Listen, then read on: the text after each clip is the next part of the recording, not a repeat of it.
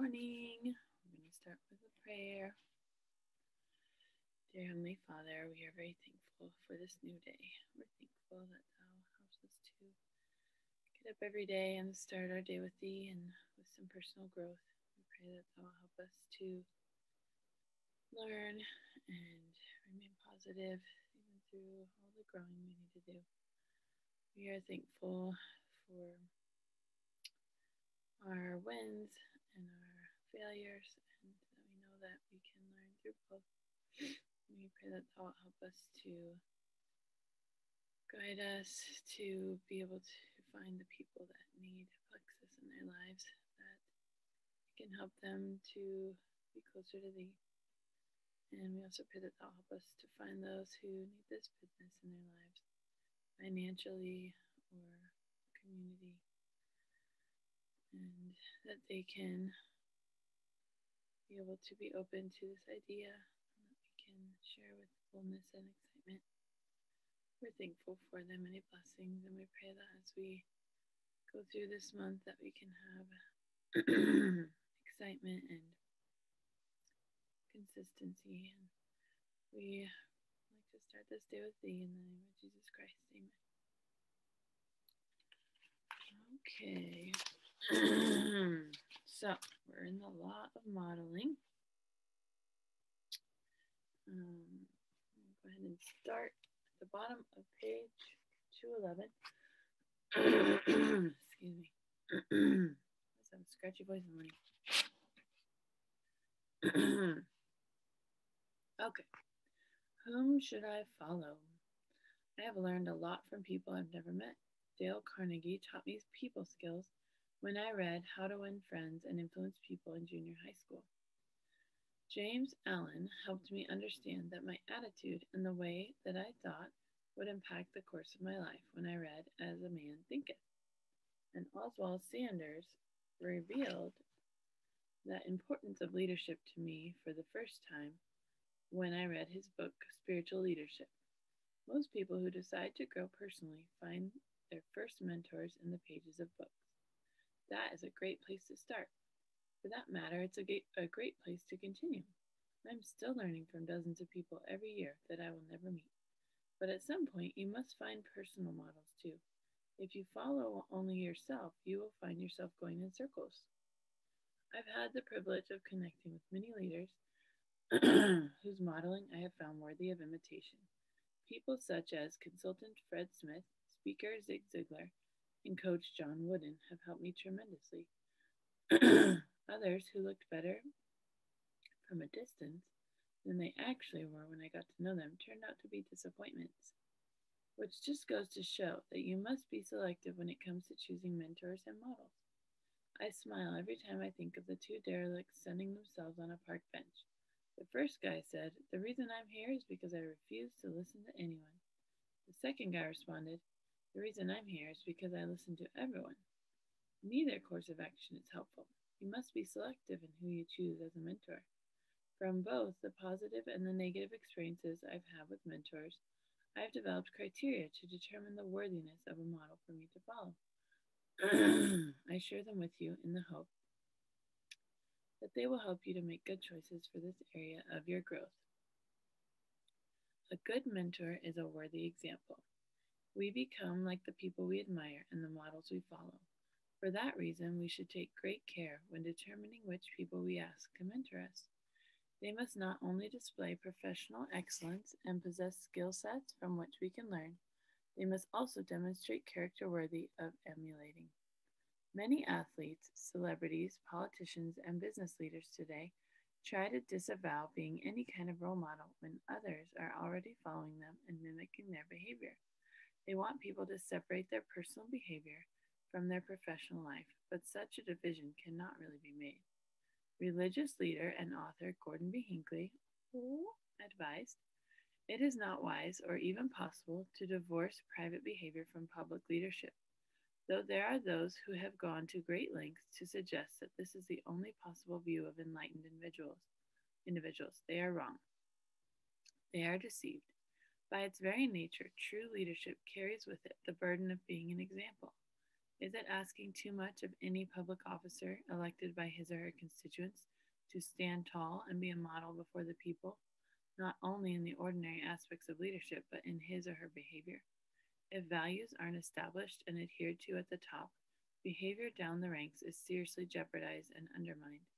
Indeed, in any organization where such is the case, be it a family, a corporation, a society, or a nation, the values being neglected will in time disappear. As you look for role models and mentors, scrutinize their personal lives as carefully as their public performance. Your values will be influenced by theirs, so you shouldn't be too casual who you choose to follow. Number two, a good mentor is available. Steel magnate and philanthropist, philanthropist um, Andrew Carnegie said, As I grow older, I pay less attention to what men say. I just watch what they do. For us to be able to observe models up close and see what they do, we must have some contact with them. That requires access and availability. For us to be actively mentored, we must have time with people to ask questions and learn from their answers. When I mentor people, we usually meet officially only a few times a year. However, during the year, we sometimes spend time together informally. Many of their mentoring questions are stimulated by my actions, not my words. That thought humbles me because I know at times I fall short of the ideals and values that I teach. As I have often said, my, gener- my greatest leadership challenge is leading me.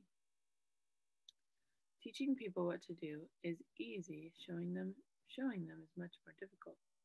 The greatest piece of advice I can give in the area of availability is that when you are looking for a mentor, don't shoot too high too soon. If you're considering going into politics for the first time, you don't need the advice of the President of the United States. If you are a high school student thinking about learning to play the cello, you don't need to be mentored by Yo Yo Ma. If you're fresh out of school and just starting your career, don't expect to get extensive mentoring time from the CEO of your organization. Why shouldn't I? You may be thinking. Why not start with the best?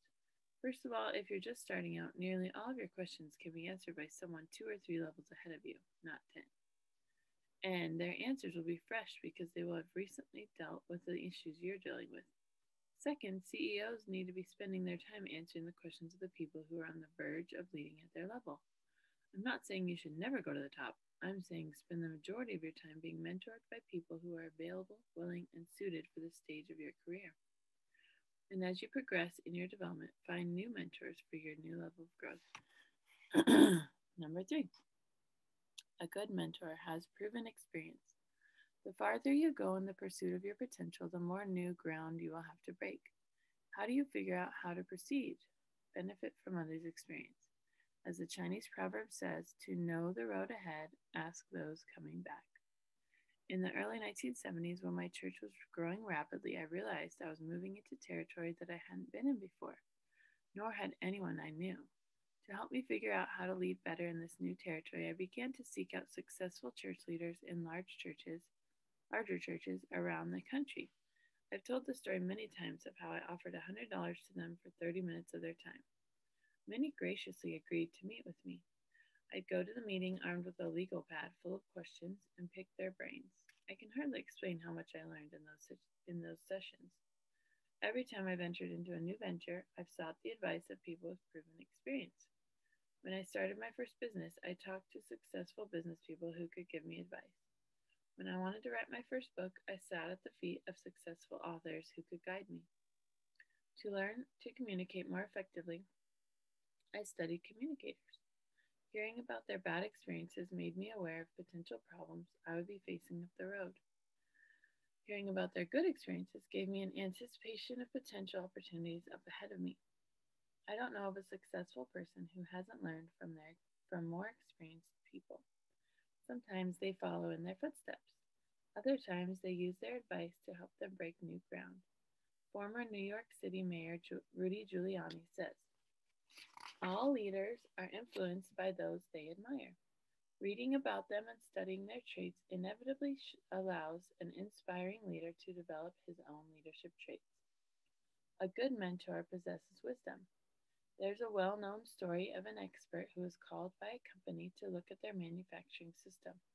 It had broken, and everything was at, was at a standstill. When the expert arrived, He carried nothing but a little black bag. Silently, he walked around the equipment for a few minutes and then stopped. As he focused on one specific area of the equipment, he pulled a small hammer out of his bag and he tapped it gently. Suddenly, everything began running again, and he quietly left. The next day, he sent a bill that made the manager go ballistic. It was for a thousand dollars. Quickly, the manager emailed the expert and wrote, I will not pay this outrageous bill without it being itemized and explained. Soon he received an invoice with the following words For the tapping on equipment with the hammer, $1. For knowing where to tap, 999. That is the value of wisdom. Mentors with wisdom often show us where to tap. Their understanding, experience, and knowledge help us to solve problems that we would have a hard time handling on our own. Fred Smith was a mentor who often deposited wisdom into my life. One day I asked him why highly successful people often sabotage their lives and hurt their careers. He said, Never confuse the giftedness of a person with the person.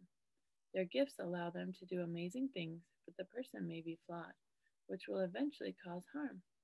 That bit of wisdom has helped me immeasurably. First, it has helped me to better understand how to work with talented people and to help them develop. Second, it has been a caution to me personally. I know that having talent in a given area never exempts me from neglecting discipline or character issues. We're all just one step away from stupid. Wise people often use just a few words to help us learn and develop. They open our eyes to worlds we might not have otherwise seen without their help. They help us navigate difficult situations. They help us see the opportunities we would otherwise miss. They make us wiser than our years and experiences. And experience, actually. Ooh, mentors. Feel like I have a lot of mentors, but I forget to like actively seek them out. It's a good, it's a good chapter. Anyway.